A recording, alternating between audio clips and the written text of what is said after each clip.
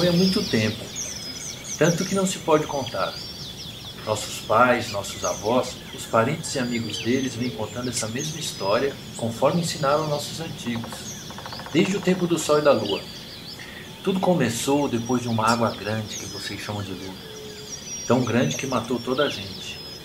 A terra terminou em água e sobrou apenas um casalzinho de irmãos. Foi assim que o mundo foi criado. Essa história não está escrita, ela está na nossa cabeça, do jeitinho que nossos pais e nossos avós contaram. É a nossa verdade. Antes dessa água grande não havia as montanhas de hoje. O chão era plano como uma mesa e por isso os nossos podiam enxergar tudo. Mas a maré daquela água grande foi levando tudo: terra, barro, areia. O mundo ficou escuro. Todos morreram afogados, menos o casal de irmãos que subiram no alto de uma palmeira. Naquele tempo os passarinhos falavam. Antigamente era assim. Os bichos falavam no nosso idioma, conversavam e gritavam. E os passarinhos não eram como hoje, não. Eram grandes, muito grandes. Foram eles que vieram secando as águas. Um bando de saracuras trazendo terra nos bicos. Uns jogavam a terra, outros pisavam, criando as partes altas, os morros.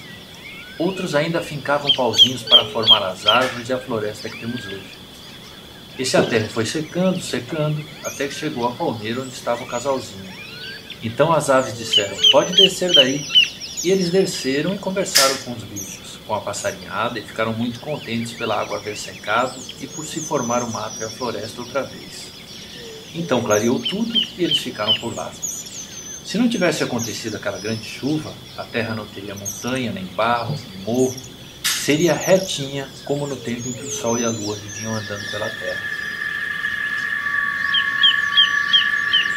Os antigos sempre nos contavam como tudo aqui foi criado para nós. Eles sabiam como tudo foi destinado para a nossa gente pelo Sol, que criou e ensinou os nossos a viverem aqui. Tudo que tinha nessa terra, no rio e no céu, eles contaram como foi criado para nós. Mas o branco chegou e acabou com tudo, até com a gente. Agora só sabemos a história. Desde tempos dos antigos, toda a margem esquerda do Ivaí era ocupada por nossa gente. Porém, foram eles as primeiras vítimas da presença do branco no território Xetá. Nesse tempo, os brancos vinham com outros índios pelo rio Ivaí e chegavam até junto do lugar da nossa gente que vivia ali. O pai de Cuen viu isso. Ele até foi pego por um deles quando era rapazinho. O pai de Cuen foi preso por índio e branco que invadiram a aldeia. Eles tomaram dele o arco e a flecha e ele ficou lá, preso, sofrendo, coitado, até que ele conseguiu fugir, usando um machado de ferro que pegou como arma para se proteger do mato. A gente nunca conseguiu saber direito onde ele estava, apenas que estava no Ivaí mesmo porque ali era cheio de outras gentes. Nossa, e esses Caigangue e Guarani. Certo onde ele estava preso, ele pegou esse machado de ferro, porque nós não o conhecíamos. Ele pegou e levou lá para onde estava a gente dele. Nem sei o fim que deram nele, porque ele não usou mais aquela coisa. Foi só para fugir.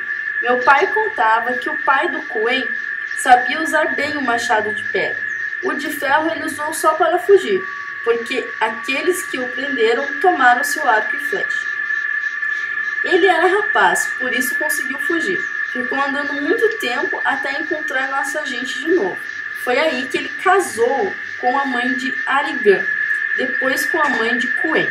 Aí o pai de Cuen contou para ele como eram aqueles homens, índios e brancos também.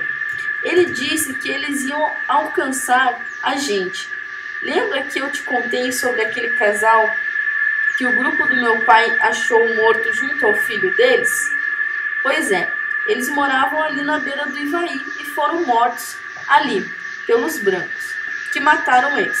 Taparam a boca deles e colocaram os três emparelhados, um do lado do outro, a criança no meio. Eu não era nascido ainda, mas meu pai e minha mãe me contaram e mostraram o lugar onde tudo aconteceu, quando eu já estava crescido.